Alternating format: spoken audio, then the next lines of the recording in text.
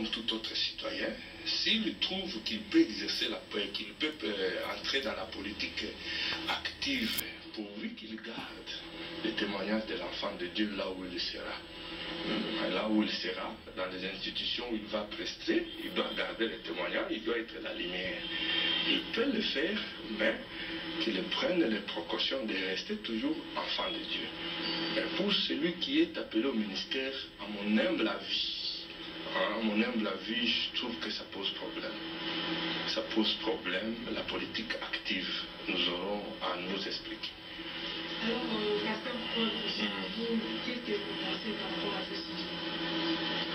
Bon, euh, ce que je peux dire, comme a dit mon prédécesseur, que la politique étant l'art de gérer la cité, nous disons que les enfants de Dieu, même les hommes de Dieu, font déjà la politique, parce qu'ils sont en train de gérer les gens, de gérer des choses. Mais il y a deux aspects. Il y a l'aspect euh, politique active et il y a la politique passive. La politique passive, euh, un homme de Dieu ou un enfant de Dieu peut le faire. Alors, euh, nous aurons aussi à expliquer pourquoi nous disons qu'un enfant de Dieu ou un homme de Dieu peut le.